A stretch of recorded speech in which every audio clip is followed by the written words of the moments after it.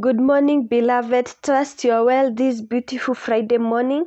Our daily devotional scripture comes from the book of Jeremiah, chapter 31, from verse 3. And the Bible says, The Lord has appeared of old unto me, saying, Yea, I have loved thee with an everlasting love. Therefore, with loving kindness have I drawn thee. This uh, scripture was talking to the Israelites God was talking to them about the love that He had for them, and He was trying to tell them that He was going to fulfill the pledge. The pledge that he has made to them to gather them and to take them to their promised land, which was Canaan. So, God is talking to us today that He has loved us with an everlasting love. He says that is the love that He has for us is not going to end, it is unending. The love that He made to us during those days of old to our father Abraham is still the love that He has for us today and, and even in our generations to come.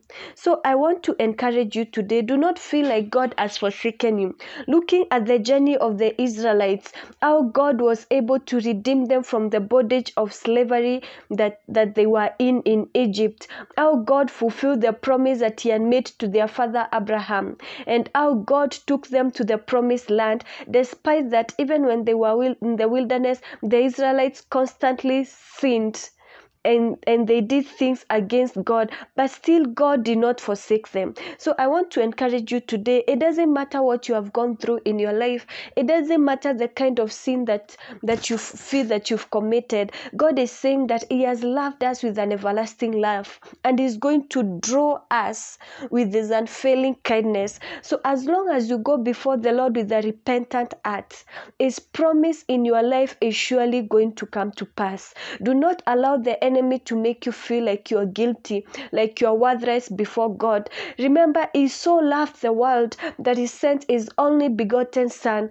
so that we can be redeemed from the curse of sin.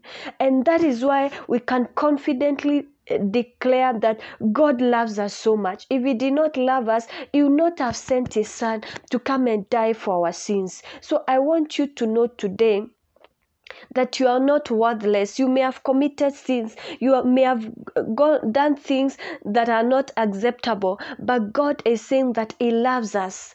After all the things that the Israelites did in the wilderness, they even worshipped idols. They committed fornication and adultery. They did all sorts of things against God. But still, the love of God was did not wither for in their case. God still delivered them to the promised land. So I want to encourage you that the promise of God in your life will surely be fulfilled in Jesus' name. Do not despise yourself because God loves you. If you have done something that you feel is not worthy in the eyes of God, just go before your Father in heaven. Ask Him to forgive you because the Bible says His mercies endures forever. And I know He's going to take you back, just like what happened with the prodigal son. After he took everything from his father and he went to another land and he squandered everything that he had. And then in the end, he said, I want to go back to my father because my father's servants are eating and sleeping in a better place than, than I am.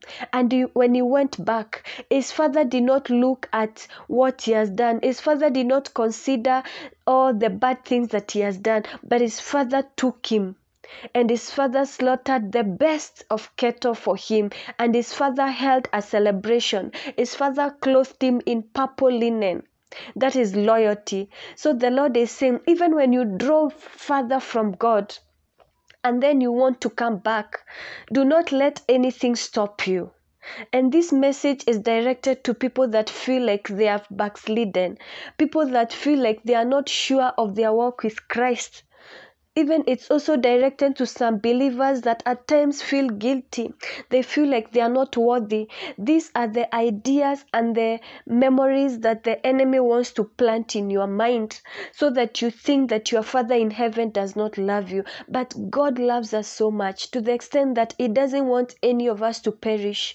You remember the bible talks about a story of a shepherd that has a hundred sheep and one of the sheep get lost and the hundred sh- uh, sh- the, the shepherd leaves the 99 until he goes to search for the one. And once he gets the one, he comes back with it and he holds a celebration. We are told of the story of someone that has 10 coins and one of the coins disappear and is left with 9. He sweeps the whole house. He lights his lamp so that he can look it for it. And finally when he finds the one coin the one silver coin he rejoices. He calls his neighbors to come and celebrate with him to come and rejoice with him. For this for the for the one that was lost has been found. And that is the joy of our father in heaven. When one sheep is found when one one sheep that was lost when one coin that was lost is found that is the joy that is in heaven. When you give your life to Christ that is the joy that takes place in heaven. So I want you to know that God loves you with an everlasting love. And he says that he's going to draw you with unfailing kindness. That means he's going to draw you back to him with an unfailing kindness. He's going to gather you back to him with an unfailing kindness. Because remember, he's your father. He created you. He has a purpose for your life. I want you to know that you have an assignment that you need to fulfill. So do not live a careless life. Ask God to reveal your assignment to you. Ask God to reveal your calling to you. Let God show you the way that you should go. Do not allow the enemy to mislead you. Do not allow the enemy to to, to take you to the wrong places. Just ask God to direct your thoughts. Ask God to guide you. And I know you will not have a reason to regret in Jesus' name. Just know that God is concerned about your salvation is concerned about your salvation so much.